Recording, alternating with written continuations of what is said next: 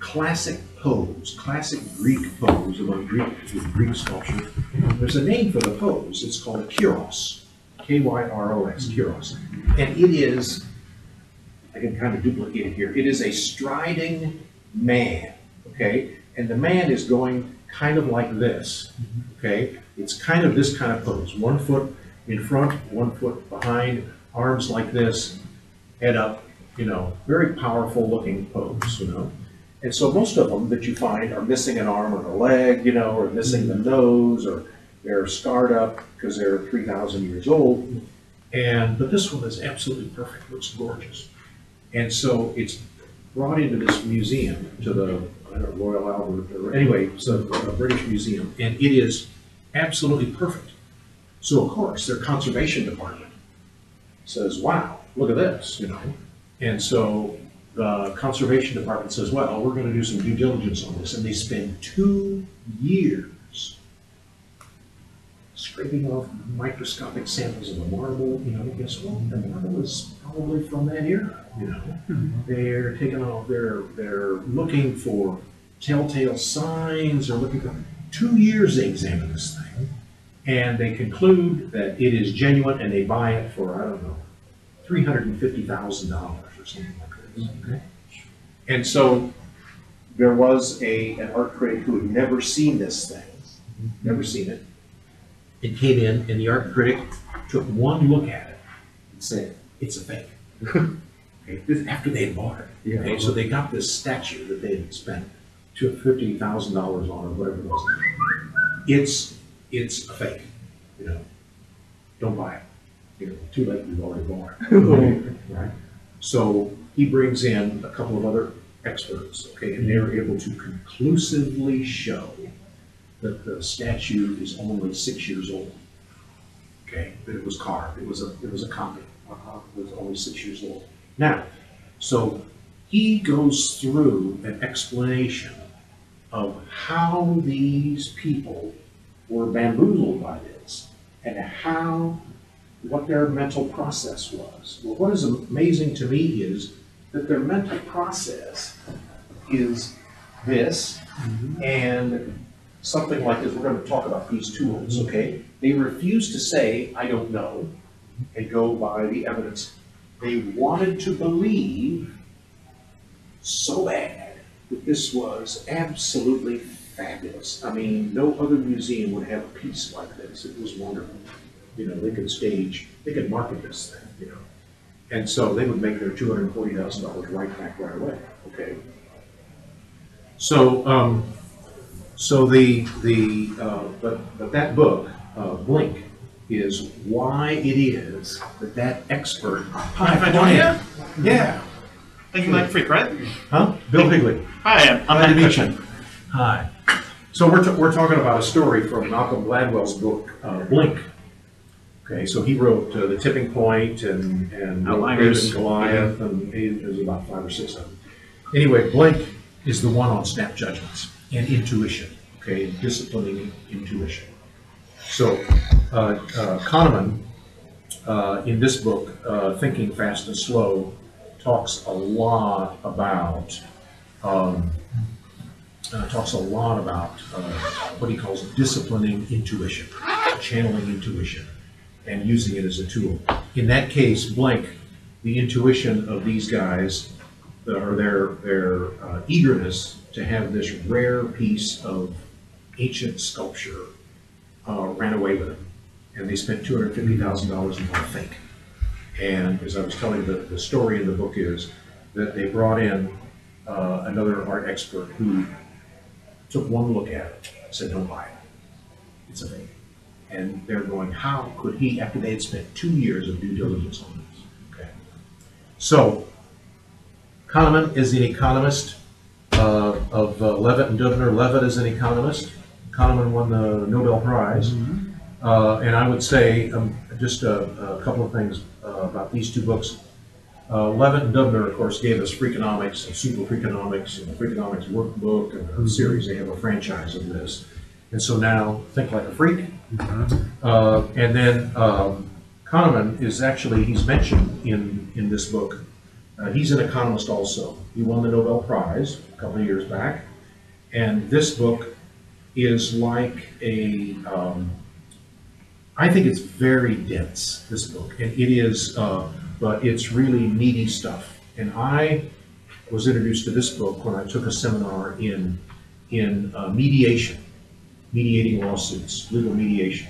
And so the, the uh, gist of it was, uh, the application of mediation is that people labor under misapprehensions and misimpressions, and they believe what they want to believe. So don't confuse us with the facts. And so uh, that's much more what this book is all about, and it's all about clinical studies and exhaustive studies and stuff like that. This, of course, uh, if you've, if you've read uh, Freakonomics or the, or the workbook, you know it's full of marvelous stories. You know, why is it that drug dealers tend to live with their mothers? You know, stay at home and live with their mothers. Uh, Why is it that, um, uh, uh, oh, there's, there's, there's really some, uh, some very interesting things. How are, um, uh, oh, he's got a story. Think Like a Freak? or- Yeah, yeah, this is Think Like a Freak. Come on in. Come on in. We're in the cozy We're, room. we're, uh, yeah, come on in. There's a, now that we're gonna have to go to the mezzanine level here for, for more seats. We're going to, uh, we're gonna have some handout time here. You know, the first thing I want you to know about this talk is that neither the title nor the timing or schedule has anything to do with Halloween. Absolutely. Here, wait a minute, we can, we can start. We on can, this. oh, I Okay, was yeah. gonna say, we can share. That's all right. I had high expectations for this, so I bought plenty of copies. All right. So, so, uh, these things are what's up on the, uh, on the, uh, the whiteboard, whiteboard wall here. And, um, Steven, uh, Levitt and Stephen Dubner, uh, uh, gave us the, uh, the Freakonomics, uh, franchise, if you will. Okay, there's Freakonomics and there's Super Freakonomics. And they, um, they now uh, apply this, they take this a little bit further. And um, just kind of a, by way of a, one of the, the points they make at the very beginning is that when they, when they say, put away your moral compass, that's, that's one of the things that's, that's talked about in the book.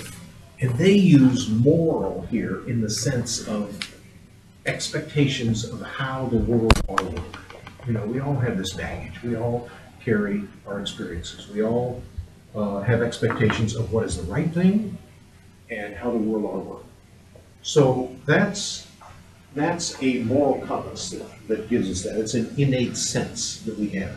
Economics, however, is behavioral science, and economics tells us what the behavior says. Okay?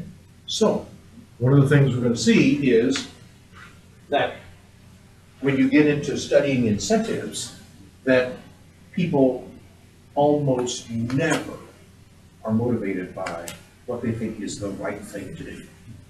Almost never. If you want to appeal to that, you're probably not going to make the sale, you're probably not going to make the relationship, you're probably not going to develop the, uh, the alliance, you're probably not going to make the partnership. That's not, that's probably not going to uh, uh, happen. The earlier books, there's a difference in this book and the earlier ones. The, the earlier ones had some simpler ideas. One is that incentives are really the cornerstone of how the world works. People do things for incentives. Sounds obvious, but economists uh, study this all the time. What motivates people to do what they do? Um, not about numbers at all. The only reason it has anything to do with numbers is that a substantial amount of what the incentives are is about money and how people spend it, where it goes. So they study that, but what they really stu- are studying is the behavior behind that, what motivates it. And then, uh, the second idea was uh, knowing what to measure and how to measure it, makes a complicated world less so. So you're not, uh, proceeding on assumptions, you're proceeding on measurements, what you, it's data, it's data points. And so you, you make an effort, you're gonna get further in your business, you're gonna get further in solving your problem, you're gonna get further in handling uh, a problematic situation if you proceed on the basis of data, not on the basis of, of assumption. Uh, the third one is that the conventional wisdom is often wrong. Things are not what they may seem. And we can take the words, things are not like what they may seem, and put that, and, and substitute the words, what you expect. So things are not often what you expect. Because the way things seem is really what, what you're going to expect. Okay? Hi, come on in. Well, um, I'll stand. Uh, No, well, that's okay. That's, we'll, we'll, uh, we can get, uh, we can get a chair, I'm here. right. I'm all right. You can sit and I can stand. I, I like standing. That's Yeah. okay. All right. So, um, so, um, uh, so economics, and so this book is written by economists. So economics is behavioral data. It's a study of human behavior, and it's grounded in, uh, data. And, um, so that's why one of the very first points they make in this book, and they lay out six strategies to think like a freak. They're gonna think like a freak. And thinking like a freak is, you know, we used to say, think outside the box, okay? Think outside, I like to work, use the word categories also. So, um, uh, the boxes are all categories, and, uh, categories, nothing wrong with categories and boxes, because it's how the mind works. The mind works by analogies. We constantly, we're obsessed with creating meaning uh, for what we see and what we perceive and what our experiences are. And what do we have to go on? Our previous experience. And so every new experience, whatever it is, gets hooked into a past experience, and that, that's what gives it meaning. We'd go nuts if we couldn't do that, if we couldn't derive meaning. And so we are we come to a situation, to a new situation with expectations about what we'll see, about what goes on, about what people do, what the meaning is of the, of the interactions that we have. So when we think of the world as we believe it is or should be, that's what we call our moral compass. It's not grounded in data, it's grounded in our assumptions. So, um, the, uh, the world as data tells us it is, uh, is really, is really economic. So why don't more people do this? And that's because, um, number one, we do have these biases, which we let color our view of the world, rose-colored glasses, some people used to say. Um, and, uh, the, um, one of the conclusions in this book is that people are just as quick to jump from a particular to a generalization. So you see an example, and the tendency is to think, every such experience is like that. Every such person is like that. Oh, they're all like that. They're all like that. Okay? Uh, as they are slow to jump to a particular from a generalization. So once we have a generalization, all right, come on in. You're thinking like a freak here. Okay? So, No, it's fine. so, um, so people are very reluctant to say that a particular situation is different from the generalization. So people are, people tend to say, they're all like that. And when they encounter a new, whatever that is, be it a new situation, be it a new economic forecast, be it a projection, be it something else, they're tempted to say, no, it's like the generalization. So this is how prejudices develop, prejudgments.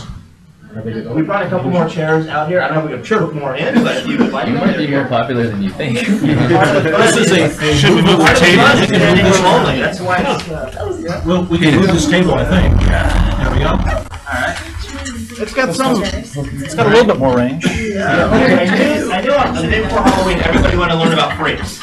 Well, I just, I just gave the disclaimer, you know, that You can use these. neither the timing or the title has anything to do with Halloween.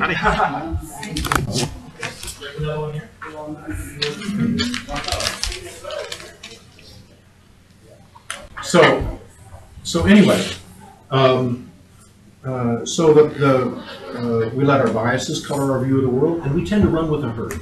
We look for, to other people for validation, because after all, we didn't get validation, you know, what's the definition of that? You know, that's characteristic of schizophrenia. That's characteristic of mental illness. And so we look to other people for validation of how we view the world. We want to know that we're that were part of a, uh, uh, part of a, a crowd, part of a, part of others who are, who are doing this, um, uh, who are getting along.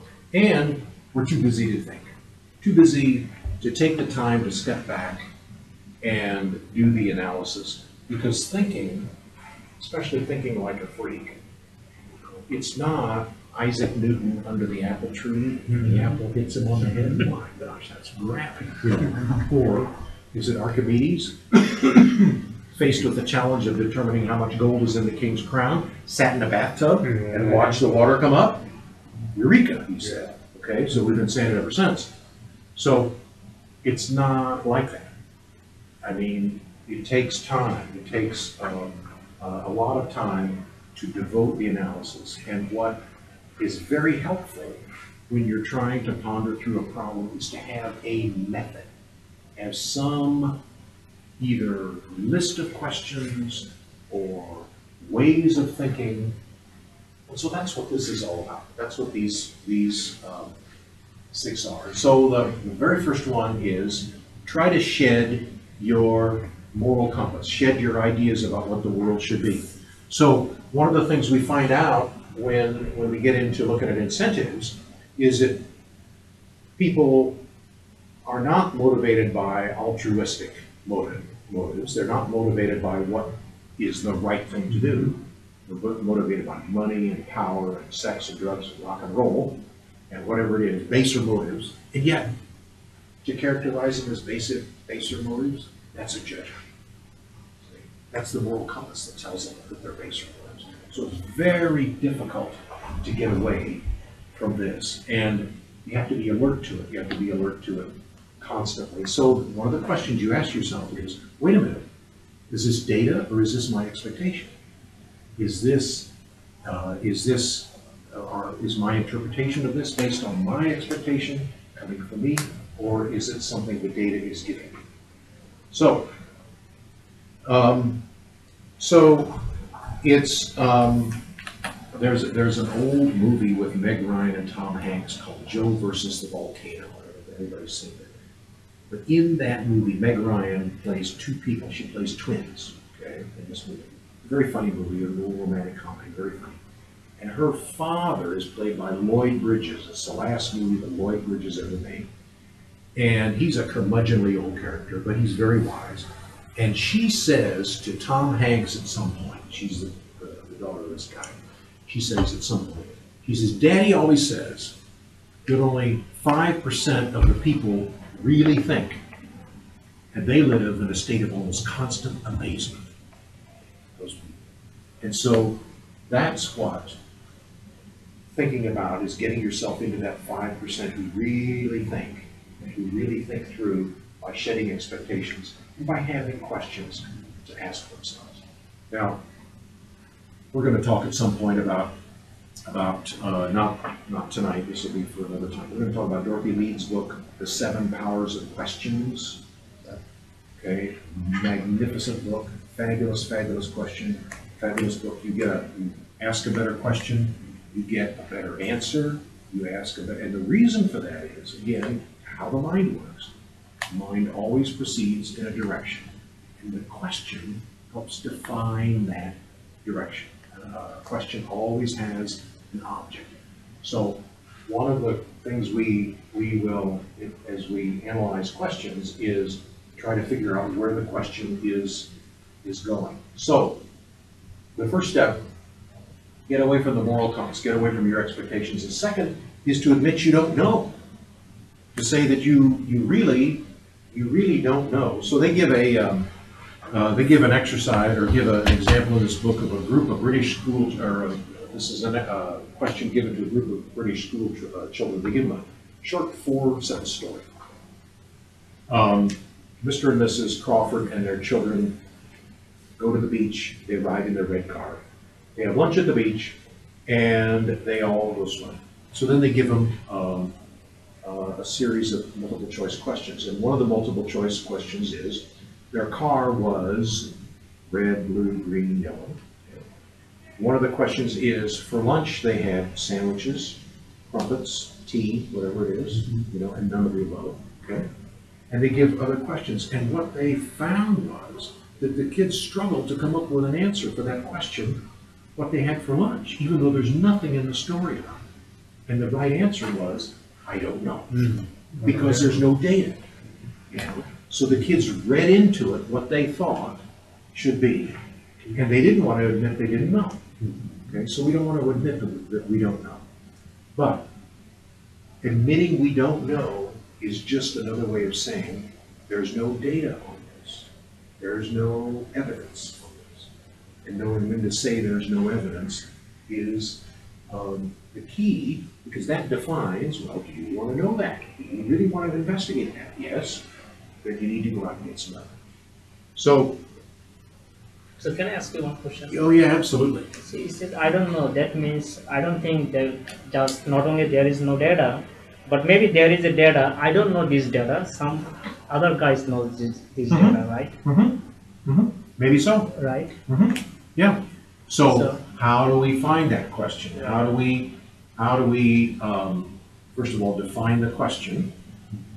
And then how do we, um, decide where we would have to go for an answer? What kind of resource we can, we can use for that? Whether it's defining a market, whether it's figuring out what our customers want, whether it's figuring out what kind of, maybe, uh, an incentive pay structure in the company, all kinds of different things.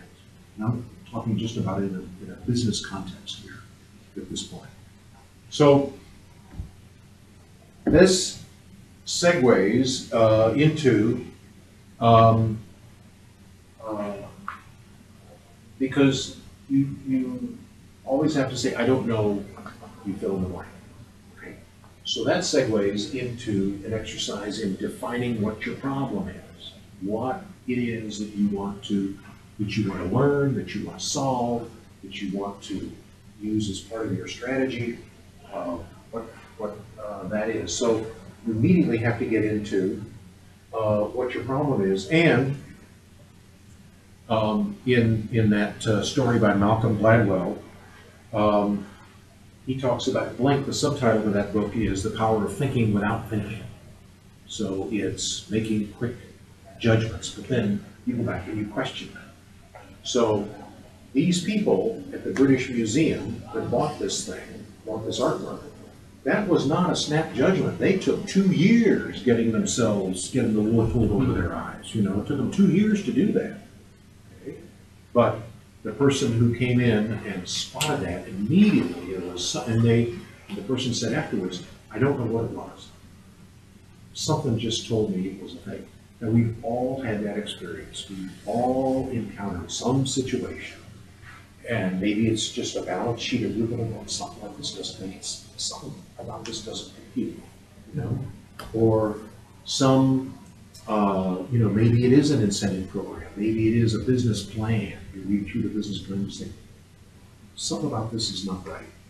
And so we all get those kinds of uh, those kinds of intuitions, but the challenge is in defining what the problem is. So, um, it's most often not just the noisy problem, in other words, the one that's getting our attention, the squeaky wheels, not that one, it's something else. So, uh, the key is to then gather data, get additional feedback, so that your definition of your problem is, um, uh, your definition of your problem is a feedback loop, we call this. And so it's, it's a journey, not a destination. You, you constantly, even once you define it, you go forward, and you constantly have to try and see what, see what, uh, uh, what works. So many examples of this being ignored, of the data being ignored. One uh, famous business case is Nike in China. Nike, this is a standard business school, I see heads nodding here, you studied this. You know, they went in and they assumed that, number one, there would be a cultural value on quality in manufacturing. And just like Nike rejected this factory seconds, you know, they assumed that the people working for them would too. No, not the case. The factory seconds got sold out the back door, okay? The ones that were rejected got sold out the back door, got carted out to the trash. But then the factory owner's brother-in-law from down the street was there picking up the trash, and he took them down to his place and sold them. So they had all this inferior merchandise out on the street. It's a terrible problem for quality control. Um, and so, um, uh, the, um, uh, there's a famous example given in here of the hot dog eating contest. A Japanese gentleman who won the hot dog eating contest, you know? Yeah, Okay. four times he is Huh? champion. Four times, Yeah. right. You know, and he, not just by one or two or three, but by fifty or whatever it Yeah. was, you know? Okay? So the way he did that, dude, two enormous lessons for that. One was that he redefined the problem. The problem was not how can I eat more hot dogs, but how do I make hot dogs easier to eat? Okay? So then he went through an obsessive, the second big lesson is he went through an obsessive study of every possible detail. He found out that if the buns were moistened, first of all, he found out that if he broke the hot dog in half, he could eat both halves at the same time. He found out that if he ate the buns separately from the hot dog and soaked the bun with a little bit of water, it didn't take up as much volume. He found out that if he jumped up and down and did a little dance, his stomach could hold more. He found out there are all sorts of details. So he did an exhaustive study over two years, videotaped himself. Can you imagine this? Okay. So this, you know, the other name for this is pursuit of excellence. He he really studied every aspect of it. So um, uh, again, uh, the casual uh, uh, big eaters who showed up for these contests proceeded again according to a way they thought the world was supposed to work. And you just crammed as many hot dogs in as you could. No, he went about it a whole a different way. Um, so we're we're bumping up on our time, so I'm going to run through um, uh, a few more things here. Um, uh, oh, the other thing is, when you, when you get your problem, when you, when you come to a definition of problem, very important to ask, is this the problem or is it just a symptom? So when you, when you look at something, and, and granted, most conditions, maybe there's conflict in an organization, maybe there's um, uh, excessive uh, absenteeism or excessive turnover in the organization, for example, just, just a couple of examples there. Is that a problem? Or is really the problem something else? Is it a symptom? So our expectations might tell them, yeah, that's a problem. We've got to keep people here. Wait a minute, maybe that's not the problem. In um, the, uh, you're familiar with the Baldrige Award that's given for quality every year. Well, Missouri has one too, as a Baldrige Award. And one year, there was a, um, uh, a factory in St. Charles that won both the Missouri and the national award in the same year, both of them, okay? So the Baldrige Award, when you win the Baldrige Award, it's like becoming Miss America. That means the next year of your life is gonna be taken up going around speaking, telling, mm-hmm. telling people what you learned, how to do what you did, how they can become awardees also, okay? So in the second year, they won the Missouri Award again, okay? So what this company does is they manufacture, they're a supplier for the automotive industry, and they manufactured engine parts, manifolds and different things like this. So it was a machine shop and casting and foundry and that sort of thing. And so they wanted to put in, they had excessive turnover, they had absenteeism, they had all kinds of problems in their organization. And so they sat down and they embarked on a several year long program to fix these problems. And they, they did what, what this next point is, thinking like a child, which is thinking small. So they totally revised their employee incentive program so that it was like the Japanese model of Kaizen, which is constantly improved, constant improvement. They gave rewards for the very smallest things, and the rewards are in the form of incentives, points, little points, and those resulted in bonuses. And since they promoted from within, if an employee had a great big pack of these, these little tickets, you know, on their record, they were more likely to get promoted. So they had incentives. They fought like a child and the children think small. So one of the things that they did was uh, they stopped giving rewards for the big idea, the great big idea that was going to make a lot of money. No, they gave rewards for something that might increase a conveyor belt by a minute. Know, not 300 more parts in a day, just a tiny bit. Uh, somebody came up with a new way to handle uh, extension cords for machines. Turns out it kept them out of the aisles. You don't want a cord in a factory aisle. You know? And so those kinds of things. Another uh, thing that they did, and again, this was in, in terms of incentives, they put in a totally secret, totally confidential, secret program to improve literacy among their employees. They sent employees to school. They had a fair amount of people working in that factory who either could not read or were functionally illiterate. And they set up a totally they set up a school off premises. They paid people for the time. Nobody knew that anybody was in the school. And so they were just, other employees were told, well, they're taking some additional training. That's all. And they get paid, they go for an hour. And so, uh, those employees, you know, right away, their turnover went way down. You know, the boss was giving this presentation, the plant manager said, woman came in and she's a sixty-two-year-old grandmother, and she said, I want to thank you for everything. I can read little books with my grandchildren.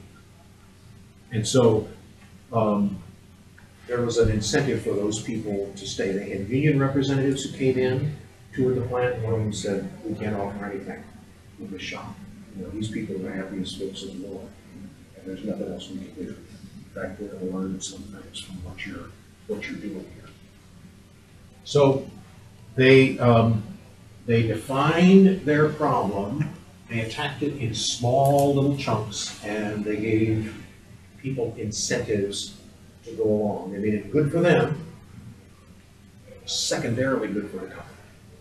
So, um, the other thing is, um, there's some other things that, that are, uh, peculiar to thinking like a child, that go along with thinking like a child, and that is, you know, uh, thinking small, don't be afraid of the obvious.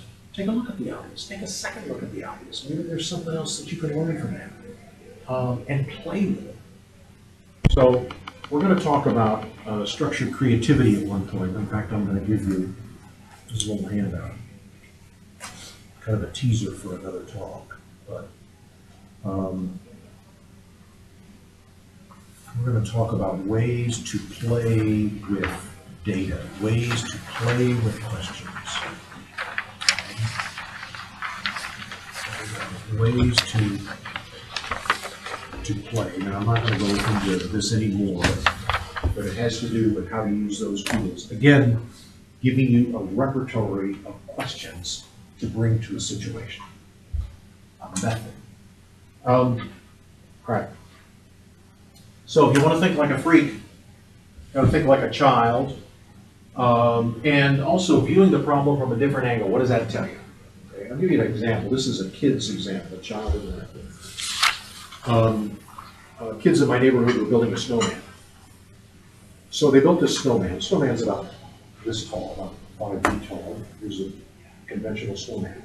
And so somebody has a carrot, they're gonna make a no- uh, nose, and they have rocks, and they, you know, and all that stuff. Typical snowman. So one of the kids comes along, and he redoes the face. And he takes the face, instead of the face here, he puts the face down here.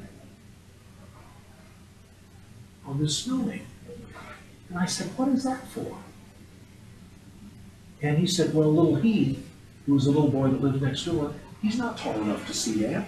And for his, his head's only this tall, so he can see the face of the snowman, just looking down at him. I feel crying out loud, looking at the problem from a different angle. Okay, there's an example. So, one of the things psychologists will tell us is that all human minds have blind spots. We all have blind spots, and we don't know what they are until someone else tells us. So that's why we have to get different points of view. We don't know our own blind spot. We talk about it in here. Uh, they admit, they don't know what they don't know. And they, you know, we talked about, about baser incentives, and people, baser, well, wait a minute. I know that's a prejudice, that's a judgment. Um, and so that's why it is, um, crucial to have other viewpoints. That's why, uh, the, the group process, if it's structured and it's handled right, can be tremendously productive in yielding ideas and generating ideas, huge volumes of ideas. Um, uh, I want to say uh, a couple of things here. I've, I've got to wrap, uh, wrap this up, but I want to say um, uh, two more things. One is, you got to figure out what, what motivates people. Now, this is the essence of economics. You got to figure out what's in it for your customers, what's in it for your, your coworkers, what's in it for your superiors, what's in it for, uh, for them. I know a consultant who's an organizational development person, and he comes into a meeting and he has a simple rule. He says, at the end of the day, if everybody has not experienced an elevation in their self-esteem, the end of the day, then that is not a good day.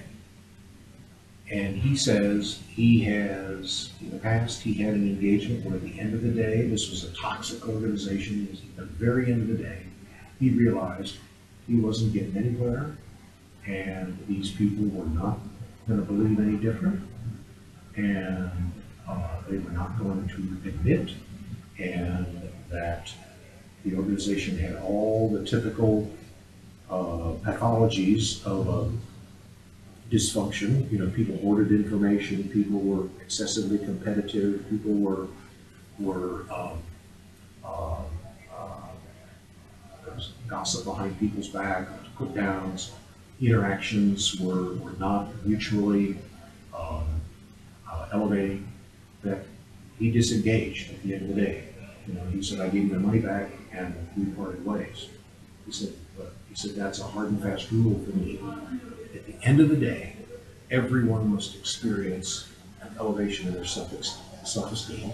That is, that they're happy they came there. They felt, feel like they accomplished something. They got something done. It was a good day. It was a productive day. So that's where, that's what incentives will do. You have to, have to discover that. You have to discover what the real motivation is. Not what you think, what the data shows you. What can, uh, can go back to, uh, uh, to data. Um, all right. Um, incentives, they, they give the example of the little girl who was toilet trained using M and M's. Okay, really worked. Her Daddy gave her M and M's to go to the toilet. Only in the, in the toilet. Okay, well, she got that lesson just fine, okay?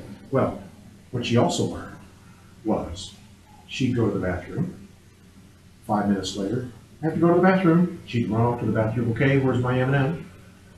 Five minutes later, oh, I have to go to the bathroom. She'd run off, come back, where's my M and so she basically learned not only to go to the bathroom, but what she had to do to get M and M's. So that's the other, the other aspect. So, so yes, you know, that was her dad's incentive and her incentive, you see. So, um, they give the example in here of a strategy for a charity that's seeking donations. And the charity is started by a guy named Brian Malamphy, who uh, is a plastic surgeon. And he sold his plastic surgery practice and went into a, started a charity to go to underdeveloped countries and do surgeries on cleft lips and cleft palates. Okay, to do these surgeries.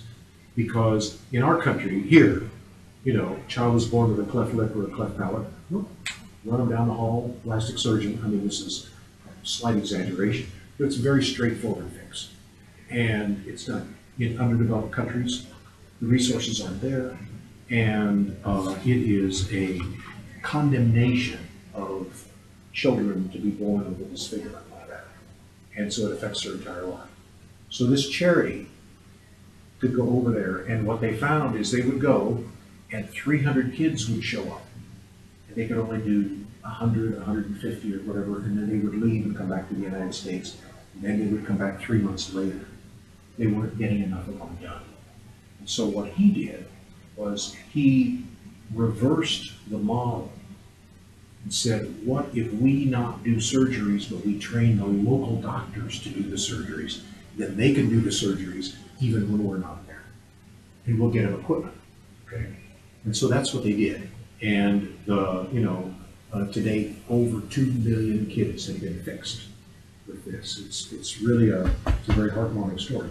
Then he, anyway, then he went out and tried to raise money. So what he found, it was very difficult, and he came up with a strategy. And the strategy is, once and you're done. So a letter goes out to people. And he found out that the motivation for people is that they believe, what their expectation is, their expectation is that they are going to give, but they're gonna get beat up again and again, they're gonna get these, these solicitations in the mail. So he sent them a solicitation that said, we will ask you only this once, unless you give us permission. And we have three options. One is, you can give us one donation, and if you check this box, you will never hear from us again. You're done.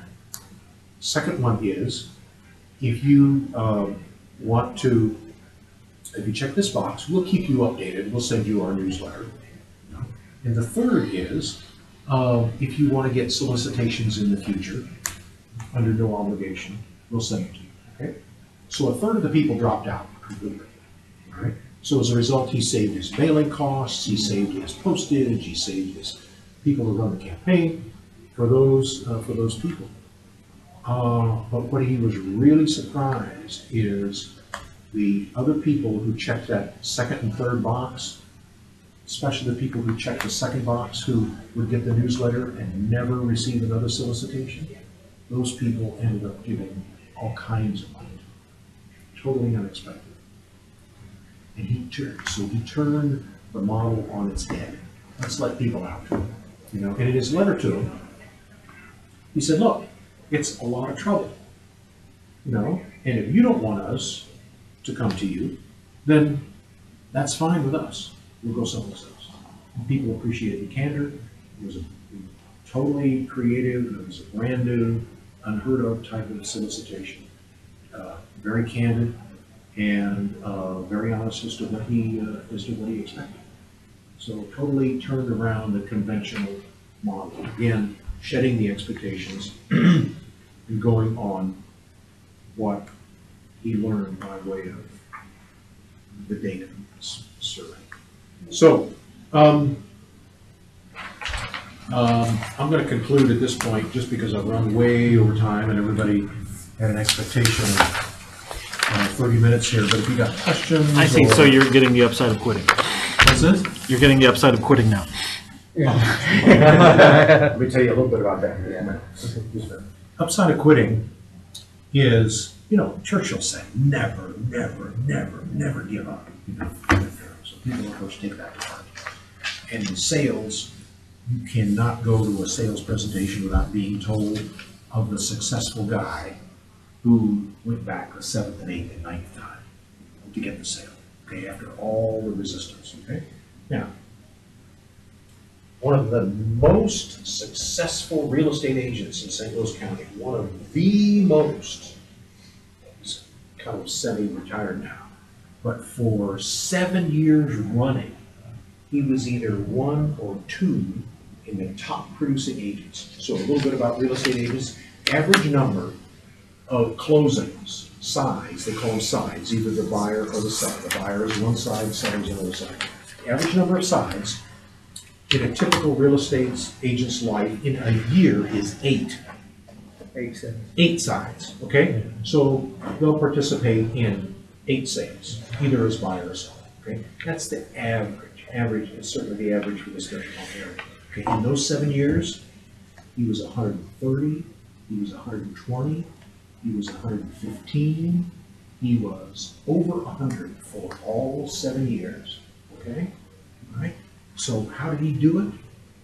And he will tell you this. He said, I knew when to quit. He said, I gave them two calls, and that was it. He said, I would call them twice. If they called me, I would call them twice, and that's it.